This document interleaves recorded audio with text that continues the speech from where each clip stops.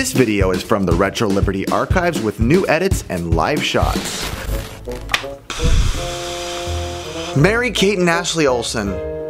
The girls who had our hearts going, aww, to nice fashion line, to wow, they've grown up, to why won't they appear on Fuller House? Well, Michelle sends her love, but she's busy in New York running her fashion empire. We're gonna talk about Mary Kate and Ashley Crush Course, which is debatably, it's not debatably, it's the worst video game I've ever played in my entire life. And I've played Fortnite. Ooh, sick burn. Upon playing Mary Kate and Ashley Crush Course, I had absolutely no idea what to expect. So when I first turned on the game, I was greeted with this.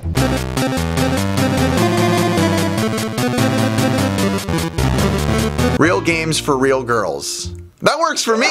Then the game shows me about five different companies that work to make this game, which means it's going to be awesome. After all that, I am given the choice to pick my character, but I can't tell who is who, and I thought they were twins, not sextuplets. Which one's Mary Kate? Which one's Ashley? So I just decide to pick the one that looks the coolest. Okay, now I'm supposed to pick a color, but for what? I am given zero explanation as to why or what picking a certain color is gonna do for me. Or even if it's just supposed to be my favorite color, then just tell me that. And that's not even to mention that the music is honestly driving me insane at this point. It has been the exact same music the whole time since the very beginning of the game, and the soundtrack is just looping over and over and over.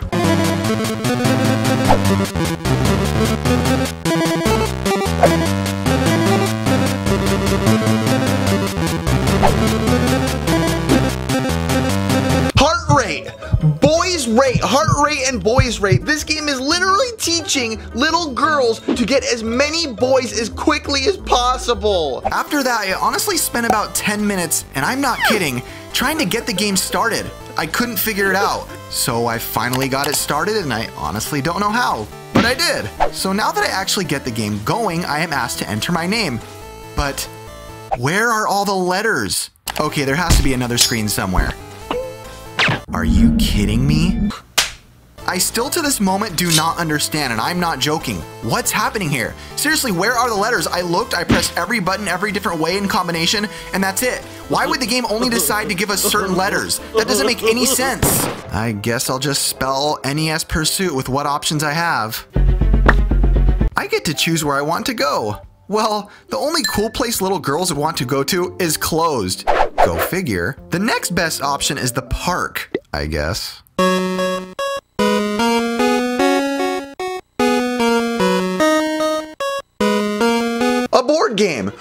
Board game really with no instructions. Have you ever played a board game in your entire life where you open it up and you are forced to play the game with zero instructions or idea or any direction of what to do at all in the board game? Okay, I'm safe. That's cool, I think. Then I'm safe again? Everything is fine. And I'm not even pressing anything to roll the dice. Oh, this game is turning out really fun. Finally, a mini game! But as soon as I start this mini game, the instructions tell me once again, as if I've played this before. Okay, let's put this aside. So the mission is literally to jump around aimlessly and take everything I see in the park. Well, that's a real good lesson to teach little girls. Okay, let's just see what the game's like.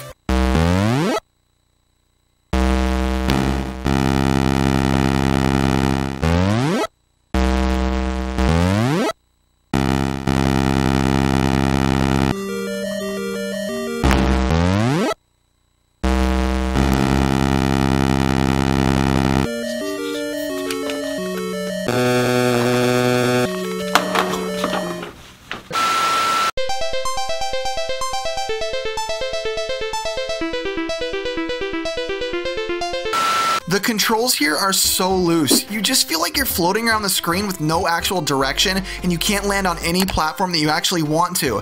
And the minimal sounds this game does make just make me want to stuff my ears with my kids' soiled diapers. Oh, great, I set the highest score. Yes! Another mini game? Yes. Looks like it's time for me to catch some fish. So, along with these baboon controls and craptastic sounds, you just move your target over the fish and I guess you caught him. Yay! Ooh, time for a love test. I guess I get to guess which cutie has a crush on me. Aw, shucks. Wow, this guy actually looks like Billy from the Game Chasers. Okay, let's see. So how am I supposed to guess who has a crush on me? Uh, maybe if I click on him, it will give me a hint. Let's see. Well, uh, I'm not picking Eminem over here. Let's go with, uh, Wes. What? I gained a heart? Did I guess right? Did the guy have a crush on me? I'm not given any explanation for anything at all!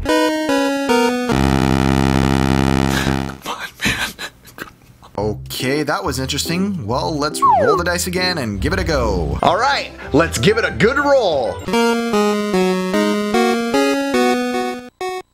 Awesome, a warp. Let's see where this takes me.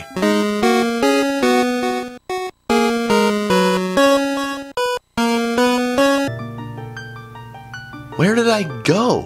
The game said nothing. Once again, I got no explanation for what's going on. Normally, I'm the kind of guy that looks at things with the glass half full, but honestly, this game's actually starting to piss me off. Finally, after 20 turns, I get a new mini game.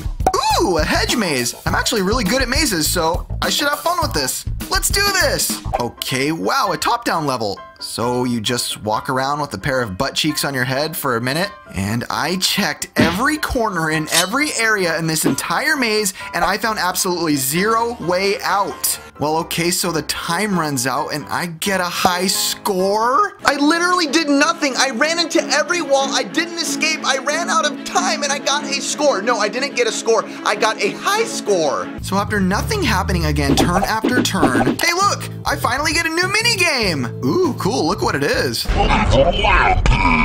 So this actually sounds promising. I am going down a river at full speed. I get to zoom down it, and I'm in a motorboat? Oh, now this sounds rad.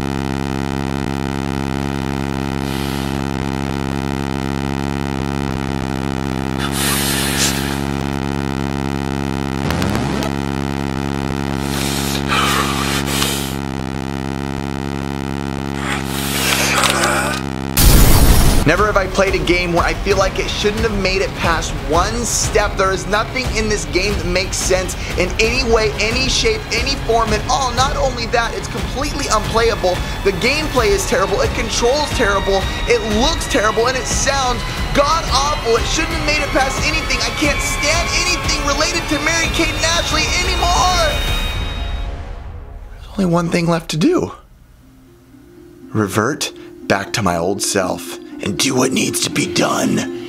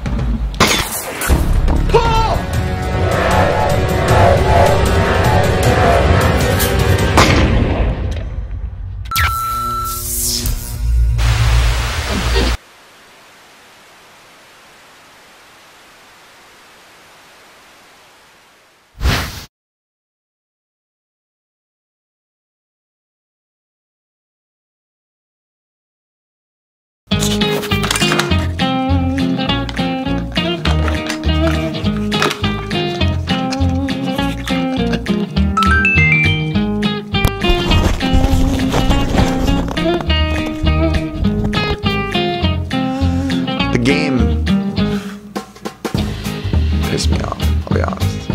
Hmm? Calm down. This is going well.